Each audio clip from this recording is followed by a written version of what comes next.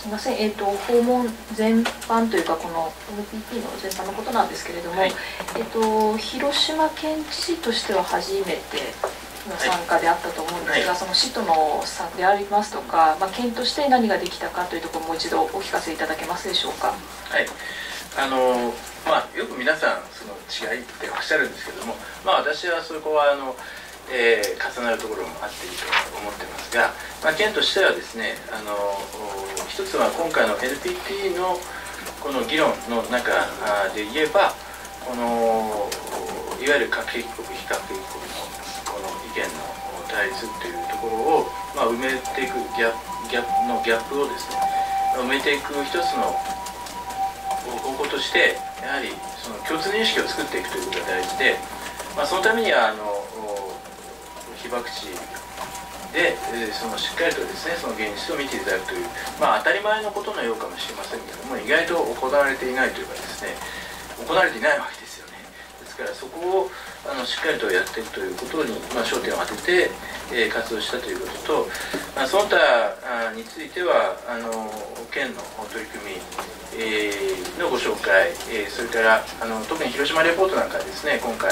出たばっかりで皆さんにもお配りをさせていただきましたけれどもあのいろんな人に関心をあの持っていただきましたし非常に有用であるということはですね皆さんおっしゃっていただいてますので、えー、今後あの広島レポートの、まあ、影響力をあの増していくというためにもですね、えー、意義があったんではないかなというふうに思っています。まあ、さらにあのペリー長官とか NTI との関係で言えば、あの世界のこの若者の教育であるとかあるいはこの今まあ停滞しているようなあの軍縮のこの進展に向けてのですね動きについても意見交換ができたというところであの、まあ、市はどちらかというとこの今の被爆の実相を伝えていくっていうところに対して、まあ、我々はそれをベースにしてそこから何をどういうふうにあの動かしていくかっていうか少しでもあの動いていくっていうことにあの力を入れてますので、まあ、そういう意味でのあの進展はあったかなというふうに考えているところであります。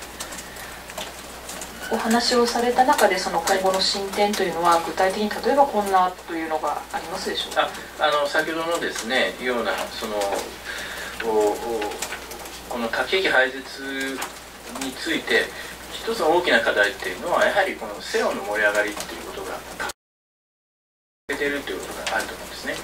でそのその中の一つとしてやはり、えー、あの皆さん十分知らないっていうことがあってで特にそういう意味で若者に、そういう意識を持ってもらうことが大事であると、まあ、そういう中でその、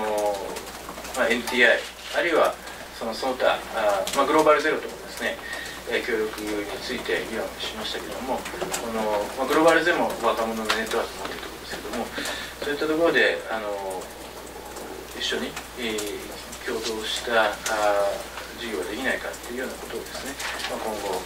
あの考えていくということがあろうかと思いますし、まあ、今度またあのあのペリー長官もあの来られますので広島にですね、まあ、そういった機会を通じてどんなことができるかと、まあ、これはあのちょっと先方のスケジュールとかそういうことも含めて何ができるか分かりませんけども、まあ、そういったことが議論できたのはまあ良かったかなというふうに思います。もの例えば呼ぶとか進歩とかそういうことになるんでしょうか、ね、あの特にですねあの来るっていうことももちろん大事ですけれどもあのそれはもちろん進めていきたいということですが、まあ、それだけだとやっぱり物理的に 限界があるのでまあ、今このテクノロジーの時代なのでいかにそのオンラインなどのあのツールを活用してですね展開していくとか、まあ、そういったようなことがあるんじゃないかなというふうに思ってます。はい、その他の質問よろしいでしょうか？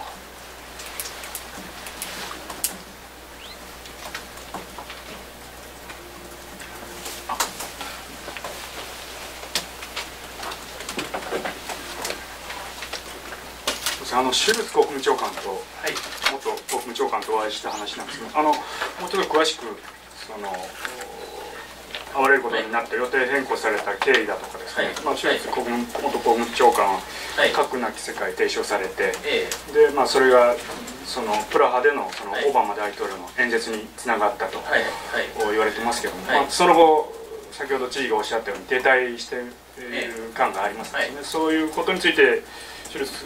さんはどう受け止めていて、はい。えーどういう提案がそれぞれあったのかというのをめて教えてください。あのおそういう点ではですねシュルツう元長官も非常にこの懸念を持っているというところでありましてその、まあ、現在、まあ、停滞をしていると。であの、まあ、それは何とかしていかなければあいけないし、えーまあ、そういったあのことの一環としてですね、まあ、シュルツ長官自身も広島に来たことがないので、まあ、ぜひあのお機会がある時にはおいでくださいというお話をしたところですね、まあ、そこは自分もねあの日本に行く機会があったらあの次回はそういうふうにしたいという話をされたりとか、えーあとはまあ今後あのこの NPT だけではなくさまざまなあのこの機会を捉えてですねそのまあ、軍縮に向けたアクションがどういうことが取れるのかといったようなことについてですねあの、まあ、議論したというかあの、まあ、そういうことで、えーありましてであの、まあ、これはもともとそういう非常に影響力の大きい方なので、えー訪問要請をしてたんですけどもこれはあのちょっと直前になってですね了解のあのお返事が来たので、えーまああのちょっと慌てて、えー訪問させていただいたというような形ですね。でそこでまああのおまあ、せっかくお伺いするので、えーペリー長官とかですねこれは LTR との関係もあったんですけどもあのアポをお願いしたらですね、えーそういうところも、おまあ、実現をして、まあ、よかったなというふうに思ってます渡米前にあの依頼申し込みされてたということはいです。ね、はいそれは先ほどその話の中で具体的なアクションどんなアクションが取れるか議論したっていうの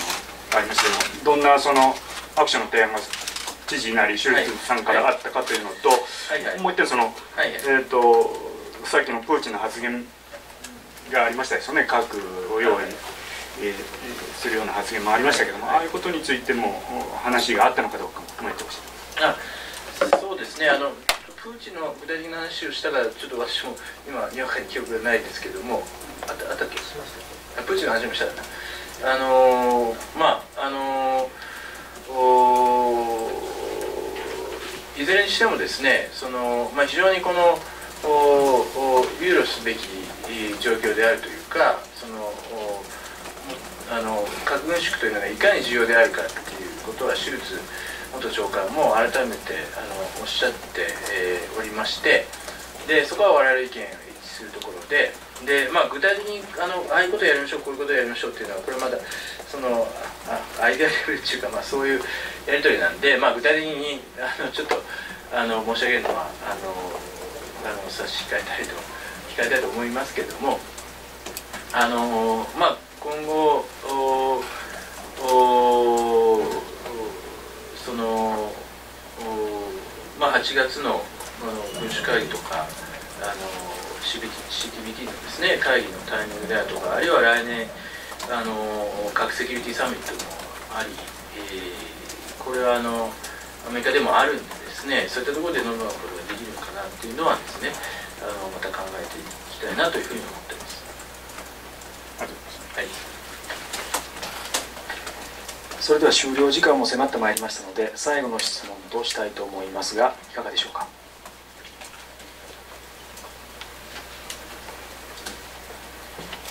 ろしいですか？それではあの以上をもちまして会見を知事会見を終了いたします。ありがとうございました。はい